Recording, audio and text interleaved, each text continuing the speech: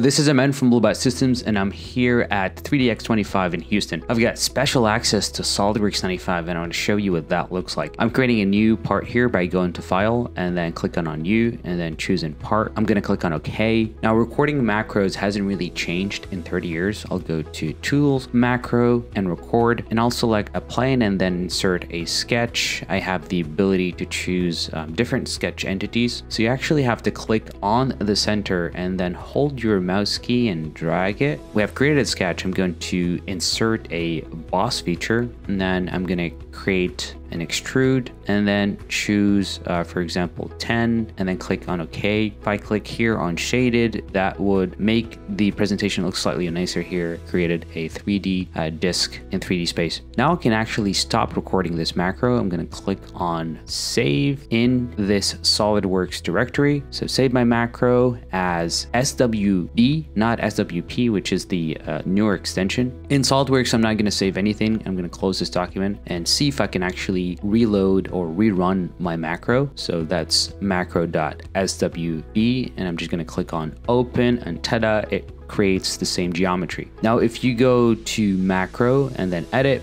and open the SW macro, you can see the code that the uh, SolidWorks uh, VBA engine has actually generated. And you can see that it's using create object. All of these API calls date all the way back to 95, 30 years ago, and they still work today in 2025. That's awesome. Now, SolidWorks has added new API calls. They're more stable and they do a better job at sketching. It's very interesting to see API code that was designed 30 years ago that still runs in 2025. Thank you for joining us on this nostalgic dive into SolidWorks 95 and its pioneering API. If you need any help with SolidWorks or the PDM API, then please feel free to reach out to me directly or contact us at bluebyte.biz slash contact. Thank you.